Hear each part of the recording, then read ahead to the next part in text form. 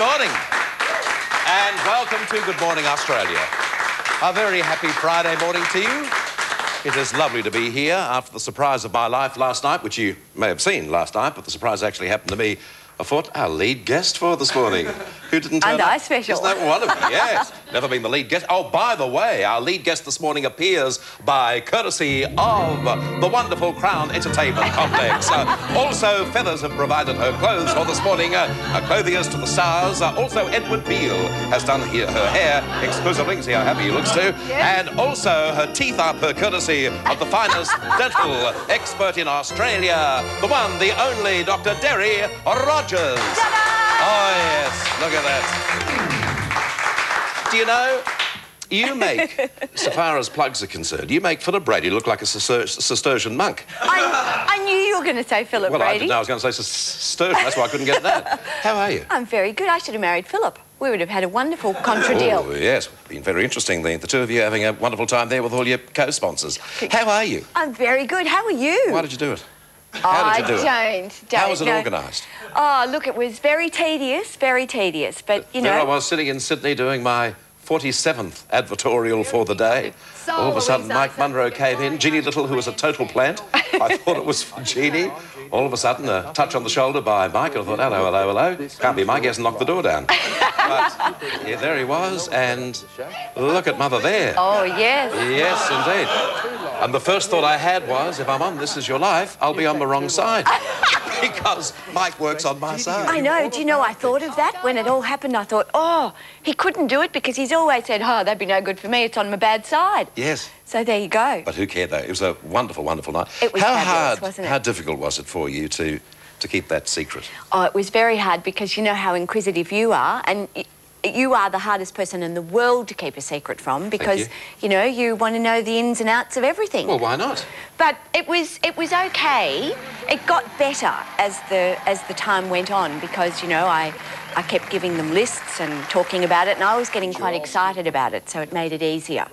But you know I was still a little Mm-hmm. Ah, bit worried. there's Brother Austin. That was an absolute thrill to see him. He is such a great man. One of my earliest teachers, Marist brother, Brother Austin. And uh, that's uh, who's that? Uh, that's you. nice of you, you. to uh, to turn up. I thought it was one of the Seven Dwarfs there for a second. Yes, no, I'm in my funeral outfit. Yeah. How did you? Uh, uh, how did you? And there are the kids, looking absolutely beautiful. I thought they were fabulous, actually. were wonderful. Very proud of them. And, uh, and Morton, of course, it was just great to, uh, to see him. Two wonderful, wonderful kids. And they had a terrific time, didn't they? They did. They absolutely loved it. Actually, everyone that was involved loved it. Oh, there Oh, you go. Oh, this is the closing song, which I love. Don't you recall? Every sing I song, I birth for sing. That's what you. I was standing right beside you, and it was just one. Every sing I song, uh, I birth for sing. Oh, don't. But you know why? Because that wasn't really my line. It was Toni Lamond's, but she had to Oh, leave. excuse- Why blame somebody else? And if you are, don't name them. Oh, well, it was okay because Tony did it so beautifully, it was okay for me to mess it up. But I, an emotional night. I, I mean, I've had it done before, uh, 18 years ago, but and that was very special. But something uh, on the show that you saw last night. I mean, really, for me at the time, it was very emotional because there are a number of people there that I really hadn't seen for a long time. I mean, Michael Cole, I hadn't seen him since he was uh, last on the Logies, and some of the friends that they managed to get from my my television and radio days, and my, also my school days. It was just just terrific. Yes, it was lovely. I mean, Wonderful experience. I mean, you do sit there concerned about who's going to come through the, the door next. My favourite memory uh, didn't happen on camera. Now, Patti and I are so close that we almost, you know, if Patti has a touch of arthritis, I get a touch of arthritis too. And in the first commercial break, it was obvious that Patti was very excited and very nervous about the whole thing. And her mouth went dry. And she said, you enjoying it, Brad? And I said, yeah, it's going very well, thank you. And Mike Munro, Mike Munro must have seen this and came across during the commercial break and said, excuse me, Patti, would you like a glass of water? And Patti said, uh, no, I'm, I'm fine, thank you, Mike, it's going very well. But this is the tag. Mike said, what about you, Bert? Would you like a glass of water? No, I'm, I'm right. that is so true. I was thinking of any strangers who were in the audience, maybe from overseas, who happened to find a you know seat in the studio. They'd think, "Oh, isn't that wonderful? They obviously love each other. And isn't it wonderful they're paying tribute to this disadvantaged couple sitting there?" And that happened on another occasion, a little later on, during a commercial break, and then we were fine. But Mm. that must have been the most hilarious of conversations. I know. Well, you see, my teeth went all dry because Yes. I was a bit nervous. Can't Barry Rogers fix that for you? No, like, I thought like that, and I thought, I get my lip down. Yes, and do you know something, just between you and me, I think once he saw that happen, I think it might have affected Mike too, because he came back afterwards and said, I think it's going very well. And then I left. You went to get some more water and you drunk the whole jug. yes, well, I think you helped me share that.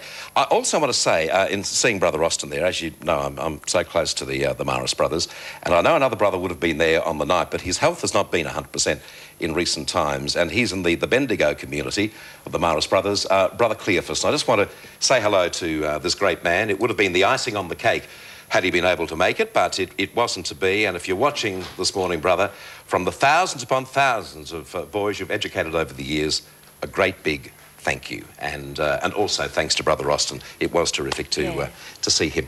Well, thank you for doing uh, Oh, all of that organisational stuff. Well, weeks the and lead weeks up and to weeks. it, I think, was was very nerve wracking. You know, Yeah. I mean, everybody, and I gave them a list, and of course, they don't use all the people that are on the list. So anybody that hates me, that you know, didn't actually get involved. Yeah. It was. There's a lot of eliminations that have Yeah. to happen. I tell you, who was very nervous. Who? Mum. Was she? Yeah, she wasn't on, but she came up to Sydney. She was so nervous that when we're on, it was the day of the plane strike. Yes. So, you know, the planes were all delayed and everything. And she was so nervous that when she got in the plane, she Tell her undid... quickly or we'll have to drop the surprise. She, yeah, she, she undid her top button, Yes. and when it was time to get out of the plane, she forgot to do it up, and her pants fell down just as she went down the thing. And folks, I can tell you, not a pretty Oh, sight. don't. Please thank Patricia Ann Therese, Bernadette McLeod Newton. just, just before you say that, There we is a have, surprise. Yes, we do have one little, one little extra thing for you. Hello, hello, Don't we, John? hello, hello. One more Oh. time. It's going to be every sing I song I bird for sing. Everything I do, I do for Bert. Everything I do, I do for Bert. Some folks say Bert's not much, but they like his gentle touch. So everything I do, I do for Bert. Take it, John. Every note I play, I play for Bert. And all those gags each day, I tell for Bert. Some folks say Bert's a dag, he likes to dress in drag. But everything I do, I do for Bert. Key change. Everything we do, we do for Bert. Everything we do, we do for Bert.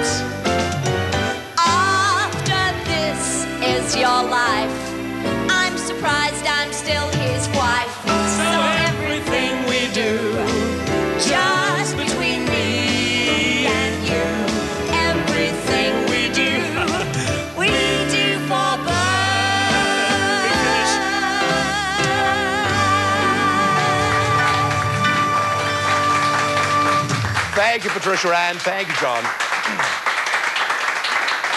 Two of the favourite people in my life. One I sleep with, and of course the other my wife. No.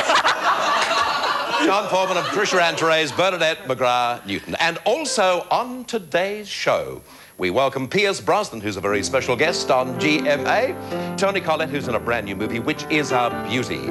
Peter Brock has a brand new video out, which is called The Legend. Shane Bourne is going to video review for us as only he can. And Gabriel Gaté is going to cook for us in the kitchen as only he can. And I didn't introduce officially the one, the only music director on GMA, Dr. John Foreman. Officially, good morning to you, John. Hello, Bert. And look, can I just add my congratulations on last night's show? I was honoured to be a part of it, and it was very exciting for me. And I have an exclusive here, Bert. Of course, Yes. as you know, This Is Your Life celebrates the lives of, of big, prominent Australians. Yes. And I can reveal exclusively the first subject of This Is Your Life for next year. It's going to be based on the life of this great Australian show business celebrity. Wonderful. Lovely. Yeah. That might be my monitor. Who the hell's that? That's uh, Belvedere's mother, Joanne. Is that Joanne? Yes. It's exciting news, Could isn't I it? have a Bert? look again, please, Bob, at I'll Joanne? Just, I'll just rewind the tape. Yeah, not a uh. Oh, I see it's on the. Oh, well, we'll have a look. Yes. I've got to see her in that new shot. Yes. She looked abs- I think she took what I've been saying literally. She's had she a cut is. and a polish. and what about the funny hat? She, oh, that's lovely. Is that, oh, that's for real, is it? Very oh, Joanne, I'm sorry. Yes. She looks absolutely beautiful and so happy too. Well, there you go. Once the screaming dies down, let me tell you now, right after the break on GMA, Toni Collette and this brand new movie of hers, which is a beauty. It's called Diana and Me.